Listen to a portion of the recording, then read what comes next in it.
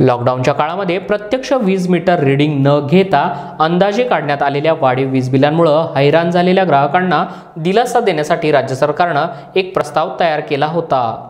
आणि त्यानंतर ग्राहकांना दिलासा देऊ अशी घोषणा सुद्धा करण्यात आली होती. मात्र आता ऊर्जा खात्यानं घुमजाव केलं असून वाढीव बिलांच्या वसुलीसाठी वीज कनेक्शन कापण्यास सुरुवात करण्यात आली आहे. मात्र स्वाभिमानी शेतकरी संघटना वीज विभागाला असे करू देणार नसून वेळप्रसंगी कनेक्शन कापण्यासाठी येणाऱ्या कर्मचाऱ्याचे कपडे फाडू असा इशारा स्वाभिमानी शेतकरी संघटनेचे नेते रविकांत तुपकर यांनी दिला आहे. वीज बिलाच्या संदर्भाने सुद्धा ऊर्जा खात्याने वेळोवेळी आपल्या भूमिका बदललेल्या आहेत. ग्राहकांना अंधारात ठेवलेल्या आहेत. अव्वाच्या सव्वा बिलं सामान्य ग्राहकाला भरणं मुश्किल आहे. म्हणून राज्य सरकारला आमचं सांगणं आहे की ताबडतोब आठवड्याभरामध्ये जे काय वाढीव वीज बिलं आले असतील त्यामध्ये सवलत देण्याचा निर्णय ताबडतोब राज्य सरकारनं घेतला पाहिजे.